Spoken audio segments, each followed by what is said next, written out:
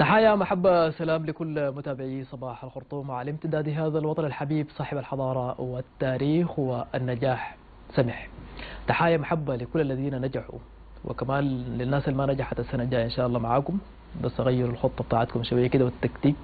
تحايا لكل الأسر. السعدوا أبنائهم وصبروا عشان يفرحوا بأبنائهم في هذا العام وكمان في السنين الفائتة. وأسعد من داخل الاستوديو أنكم معي أسرة مميزة جدا بنبارك لهم. نجاح أبنائهم. الوالدة والأستاذة تغريد دفع الله التوم. الله يبارك صباح النجاح. وألف مبروك. الله يبارك فيك. تسلم إن شاء الله. حبابي. الله يبارك فيك. ومنورة صباح الخرطوم. وأسعد كمان نرحب بالابن صلاح الدين بكر عبد الله الحايز على الدرجة 95 و9 من عشرة في السنة الفائتة. الله مرحبا بك وألف مبروك. الله يحييك الله يعافيك الله يبارك فيك إن شاء الله. وضغطت شوية على مغيرة طبعا. والله شوية كان هو الضغط من بداية السنة لكن يعني كان قدر المهمه ألف مبروك يا مغير النجاح وأنت أحرزت درجة درجة كبيرة جدا ما شاء الله يعني 96 و7 من عشرة. ألف مبروك من مدرسة بشير محمد سعيد النموذجية. ألف مبروك. الله يبارك. حبابك أستاذ تغريد وبداية كلمينا عن الأجواء. يعني ما شاء الله في السنة الفائتة كان عندكم صلاح وأحرز درجة 95.9 من عشرة. وكيف كان الترتيب لمغيرة لهذا العام؟ والله الترتيب من بداية السنة. يعني مما نزلنا. مغير أصلا يعني متفوق من أول من من من شهادة الأساس. يا سلام. مستواه كويس الحمد لله. مجتهد لكن بس شوية كده ما بحب الضغط بتاعت المذاكرة.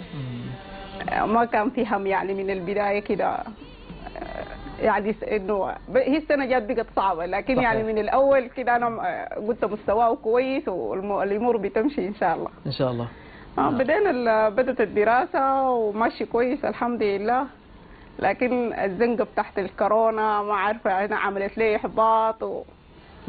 وبقى قاعد آه،. قاعد في البيت تأخرت الدراسة. وحننزل امتحانات وحننزل وما تفاصيل حننزل كتير. والمهم حسيت المستوى ما زي أول. آه، أو جاءه نفسه إحباط. لكن الحمد لله سي يعني لا الحمد لله جدا. الحمد لله رجع. نعم مرحبا بك يا مغيرة والف مبروك يا أخي. من كل الناس اللي بيتابعونا بكل تأكيد بيقول لك مبروك. وطعم النجاح سمح بكل تأكيد كلمنا عن التفاصيل حقت السنة الفايتة دي وكيف كانت المذاكرة؟ كيف كنت بتبدأ يومك يعني؟ آه والله ال- السنة كانت صعبة شديد آه خاصة مع ال- الأساتذة كانوا يقولوا لي تجيب أعلى من أخوك و آه، لازم تنجح ولازم آه، تتذاع والكلام ده كله. وأنا ما ما بشتغل كويس تحت الضغط. آه كنت لكن آه مذاكر خدت لي خطة. كنت كل يوم آه بصحى بدرس الصباح وبمشي بمشي بحضر دروس خصوصية وبتعب جدا. برجع بعد الظهر وبعد الظهر ما بنوم يعني. بحاول ألحق أنا قرايتي أنا برايل بدون. أستاذ. ده غير المدرسة والواجبات حقتها آه، وكان في ضغط شديد لكن الحمد لله يعني قدرت أدير كل حاجة وقدرت نعم. أسوي كل حاجة. الحمد لله. مرحبا بك يا صلاح. وأنت في السنة اللي فاتت يعني ما كنت موجود في السودان. آه وما جيت التلفزيون. كنا برا السودان صحيح صحيح. ألف مبروك. الله يبارك فيك إن شاء الله. شكلت تذكرت بتاع ضغط على مغيرة زي ما قلت في يعني صحيح، بداية ال- أي. الحوار. وناس البيت بيقولوا يا أخي والله صلاح ده جاب درجة عالية عشان كده انت يا مغيرة لازم تجيب درجة أعلى منه. والله في الحقيقة مغير العمل ضغط لي صلاح. مغير بعد يتفوق في شهاده الأساس قبل صلاح أول. نعم يا سلام. طيب صلاح كلمنا عن السنة اللي فاتت وانت والله السنة اللي فاتت- حققت نجاح. نشوف الطريقة برضه حقت المذاكرة بتاعتك كانت صح. كيف؟ السنة اللي فاتت آه، الحمد لله نحن ما كان عندنا الضغط اللي حصل السنة صحيح، دي صحيح. يعني السنة دي كانت في السودان. ممكن أصعب سنة تمر على الناس ديل بظروف كثيرة شديد من كورونا من فيضانات. من إجازات كثيرة نحن سنتنا الحمد لله يعني شوية كانت طبيعية إلى حد ما وإن كان فيها شوية مظاهرات وكركبة شوية كده في النص لكن مم. برضو ما كانت بنفس السنة دي. آه الحمد لله توفقت وجبت برضو درجة عالية كان محفزني مغيرة ده ذاته لأنه نحن كان كنا برا السودان. فنحن لما جينا السودان أنا بديت من الثانوي مغيرة هنا بدأ من ثامن أساس فاذاع هو الحمد لله برضه في شهادة الأساس ف يعني الحاج وبرضه أمي هنا ربنا يحفظهم كانوا يقول لي إنه شنو؟ يعني مغيره اذاعه خلاص أنا ما بنرضى إلا بالإذاعة إن شاء الله يعني. نعم. فالواحد شوية حاول ضغط روحه. آه كنت القراية حقتي يعني كانت آه كانت عادية إلى حد ما. يعني بس الواحد كان بيحاول يضغط روحه ويجتهد هو براه. يعني كنت آه، اللي هو اليوم الدراسي العادي بينتهي الساعة نعم. 2 تقريبا. برجع آه، باخذ لي نومة. النوم النوم دي كان ما اخذتها ما بقدر أقرأ ثاني بالليل. دي حاجة كويسة ذاته أيوة، في ال- في صحيح. المذاكرة يعني. فكنت هو باخذ النومه دي لحد آه، الساعة 5 العصر كده بقوم كده بتغدى. ب...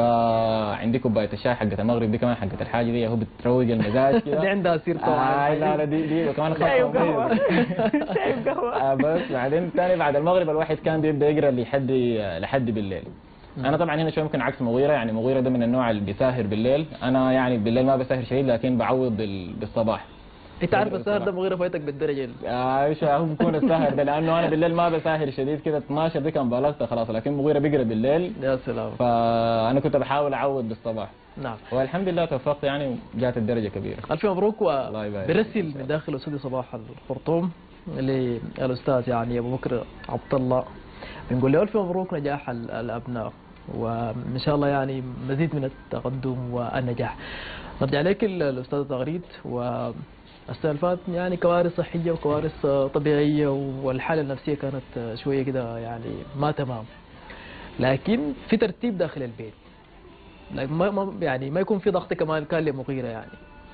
والله مغيرة شفت لما جات ال- الكورونا المشكلة بتاعت. الكورونا دي وتأخير ال- كان متجهز على أساس يخلص السنة يعني المذاكرة دي تنتهي وثالثة تنتهي بقت الكورونا.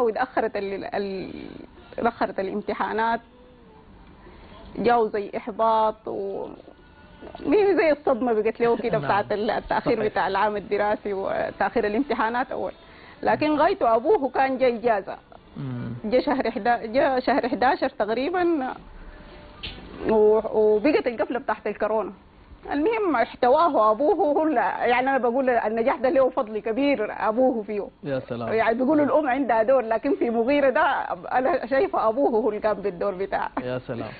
نعم. المي عمل له جدول وعمل له امتحان حتى كان يعني الفترة بتاعت الإجازة دي كان بي- بيديه امتحان بيقول له خد راحتك نوم زي ما عايز متى ما تصحى بيجيب له امتحانات بيمشي يصورها بيطبع له بيديها بيحل بي- بيخليه يحلها بيوديها للأساتذة بتاعينه في بشير محمد سعيد.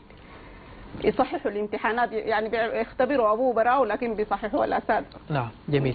طيب يا يا مغيرة حاليا في كثير من الأسر السودانية بتابعونا يعني وعندهم أبناء وبنات ممتحنين السنة دي ودايرين بناتهم وأبنائهم ديل يجوا نفس يعني الاستوديو ونفس الكرسيين ديل يقعدوا ونحن نحاورهم يعني في السنة الجاية إن شاء الله.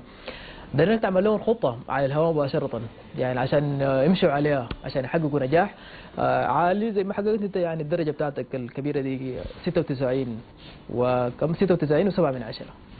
آه، والله ما بقدر آه، أضع خطة بس إنه ال- الواحد يثق بنفسه الواحد يجتهد ويشتغل بقوة. لأنه الناس بيختلفوا الناس ما كلهم سوا. طبعاً،. في اللي بيساهر وفي اللي بيصحى الصباح الناس قرايتهم ما سوا. أنا وصلاح ما ما بنقرا بنفس الطريقة. وما عندنا نفس الجدول ولا نفس الخطة. فالواحد يشوف اللي بيناسبه ويعرف هو اللي بينفع معاه شنو ما يصحى الصباح بدري لأنه في واحد بيصحى الصباح بدري ولا أنا عسى قلت بساهر ما يجي واحد يقول والله أنا بساهر لأنه ده ساهر. في ناس ممكن في ساعة قراية قليلة بيسوي اللي أنا بعمله في يومين أو ثلاثة. طبعا.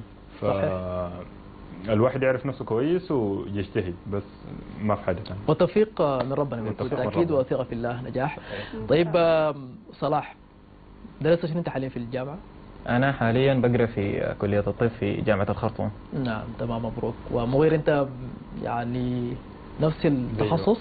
نفسه نعم. ده رغبة من الطفولة ولا الأسرة عندها تدخل يعني؟ لا رغم من الطفولة يعني. لكن أبوي بحبب فينا الحاجة دي والطب وإنه حاجة سمحة وكده يعني. لكن ما أجبرنا على حاجة وهي باختيار يعني عندك مثلا رغبة معينة في الطب تخصص معين كده؟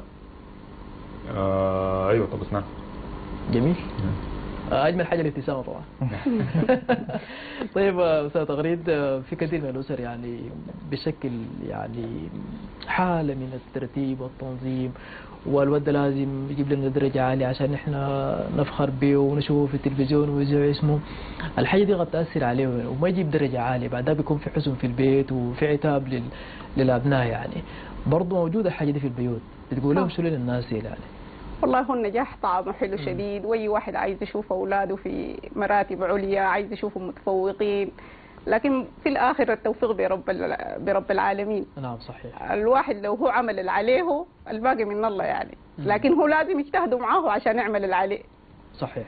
يعني الواحد لو هو ما أنا عندي بنتي ما شاء الله في تامن وجاء يعني كان مجموعة كم؟ 277 جابت. وأنا كنت متوقع لما طلعت من الامتحان والله ما يعني بتقول ما عندها غلطة وما عندها حاجة متوقع لها 280 نعم. يعني زعلت يوم النتيجة دي والله بكت يعني إنه هي بالرغم انها نسبتها الثالثه على ولاية الخرطوم يعني نسبتها كبيرة. قلت لها أمن- يعني أنت عملت اللي عليك نسبة حلوة. فعلا. يعني الواحد هو بعد يعمل اللي عليه ده ال- الباقي من الله. التوفيق نعم. إن شاء الله من رب العالمين. طيب السؤال ده لكم الاثنين يعني هحول لك السؤال انت كيف استقبلت نتيجتك في السنة اللي فاتت؟ و يا مغير انت كيف استقبلت النتيجة بتاعتك في في العام ده؟ دايرين نشوف اللحظة ما قبل إعلان ال- النتيجة ولحظة المؤتمر وحالة الترقب. حابدا بكم أنتوا الاثنين بعد ذاك أجي للوالده يعني. نبدأ بمغيرة. آه، والله أنا ال- ما كنت مترقب شديد يعني. مم. كنت عارفها كان ما 96 حتكون 95 ولا 94 كده. ولا واثق. من النتيجة بتاعتك يعني. واثق من النتيجة. تمام.